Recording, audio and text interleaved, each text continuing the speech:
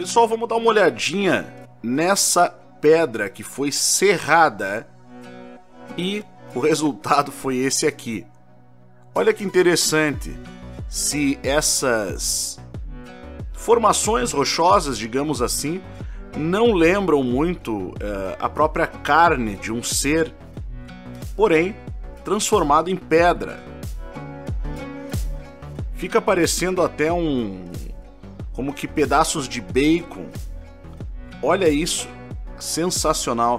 Enviado pelo inscrito Bruno, colaborador aqui do canal, inscrito do canal. Muito obrigado, Bruno, sensacional. Inclusive, nós utilizamos essa imagem na aula que foi feita ontem do curso A Outra História do Mundo no Instituto Licentia.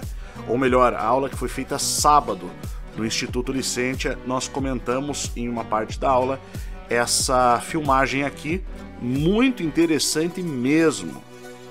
Entra, evidentemente, naquele assunto dos mud fósseis, fósseis de lama e pedra, digamos assim. Por fora, uma pedra que você não dá nada. Quando você abre, você tem esse resultado aqui. Realmente fantástico, incrível. É simplesmente além da nuvem. Aqui nós temos mais um achado sensacional. E eu peço que você veja agora como parece de fato ter um rosto nesta grande pedra aqui, que parece ser um olho, um nariz, porém bastante deteriorado. Acontece que esse monumento aqui fica no Brasil, fica na cidade de Teresópolis, no Rio de Janeiro, interior do Rio de Janeiro é chamado de caixa de fósforo e também de pedra dos milagres. E veja se não parece um moai brasileiro gigantesco. Para quem não se lembra, os moais são aquelas esculturas gigantescas que foram encontradas na ilha de Páscoa, no Oceano Pacífico. E se você reparar bem no formato dessas esculturas, até parece que em Teresópolis, no Rio de Janeiro, existe uma também, só que num tamanho muito maior. E além de ser enorme, está no topo de uma montanha. Olha isso, parte de trás, aqui de perfil.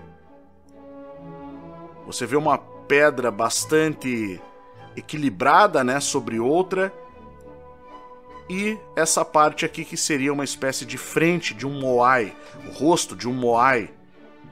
Pode ser que seja apenas coincidência, que seja apenas parecido, mas é realmente sensacional, observe. Aqui está então caixa de fósforo, porque ela é quadrada. Olha o tamanho das pessoas ao lado ou sobre essa pedra. Impressionante. Aliás, o município de Teresópolis todo tem montanhas fantásticas, sensacionais que certamente pedem um pouco mais aí da nossa atenção. Local que esconde com certeza muitos mistérios. Aliás, o Rio de Janeiro inteiro tem formações rochosas com padrões, com formatos que lembram pessoas, animais, Aliás, ao lado de Teresópolis é que fica a Pedra do Cão Sentado, na cidade de Nova Friburgo. Sensacional! Obrigado a todos que me enviaram esta filmagem, algumas pessoas enviaram.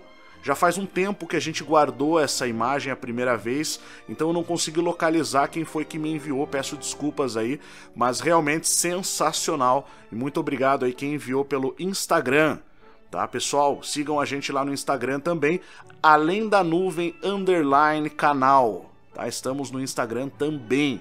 Muito obrigado aí. Vamos pro próximo.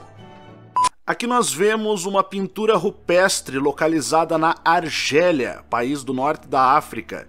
E o que nós vemos é simplesmente um gigante ao lado de uma pessoa bem menor, e esse gigante possui um crânio alongado exatamente como alguns aí que nós já mostramos em vários vídeos aqui no canal. Foi o colaborador anônimo que nos enviou essa pintura interessantíssima da Argélia. Muito obrigado e tamo junto, vamos em frente. Eu não sei quem de vocês já tinha visto esse local muito interessante chamado Sidiria, uma atração incrível do Sri Lanka.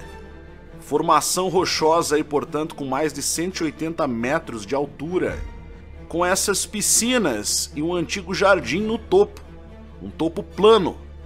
E na parte de baixo dessa pedra existe esse grande pé, conforme essa imagem aqui. E o Vinícius Costa, que é nosso aluno no Instituto Licente, parceiro e amigo aí já há bastante tempo, nos enviou essa foto do grande pé da rocha de Sidíria de 1904. Olha essa foto de 1904. Como era e como é agora. Nos enviou também pelo nosso Instagram, além da nuvem underline canal. Quem quiser pode nos enviar materiais por lá. Mas olha só que interessante. Dessa forma estava quando foi encontrada essa parte da grande rocha do Forte de Sidíria, no Sri Lanka. E aqui nós temos uma outra filmagem muito interessante também, que a nossa seguidora inscrita Sheila Lima nos enviou pelo Instagram. Muito obrigado, Sheila. Sensacional também, só que a gente não conseguiu descobrir onde fica essa espécie de caverna com um rosto do lado de dentro. E evidentemente que isso lembra muito a lenda dos titãs.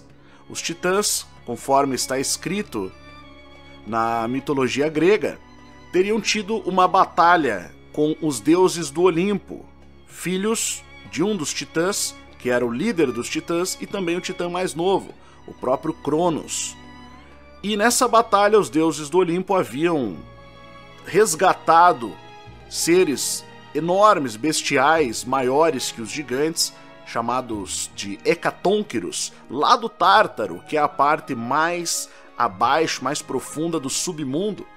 E esses Hecatonqueros lançaram sobre os titãs grandes montanhas, segundo a mitologia grega, e os titãs ficaram, portanto, aprisionados, presos debaixo dessas montanhas, tendo assim sido derrotados pelos deuses do Olimpo graças aos Hecatonqueros.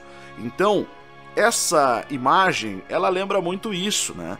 Ela lembra essa parte da mitologia onde nós vemos um rosto ali dentro de um, uma abertura dessa montanha. Sensacional esse achado. Se alguém tiver mais informações a respeito, pode nos enviar por gentileza, pode colocar aqui nos comentários. Se você quer estudar mais sobre esses e outros assuntos, venha para o Instituto Licentia, institutolicentia.com. Aproveite a promoção do pacote histórico com os cursos A Verdadeira História do Brasil e A Outra História do Mundo no Instituto Licentia. Tá rolando uma promoção bem legal lá para esses dois cursos. Entra lá que você não vai se arrepender e venha participar de grupo de alunos e aulas ao vivo, somente para alunos, com a gente. Muito obrigado, deixe seu like, se inscreve aqui no canal Além da Nuvem e compartilhe esse vídeo com a sua família e com seus amigos nas suas redes sociais, ok? Até o próximo vídeo, tamo junto!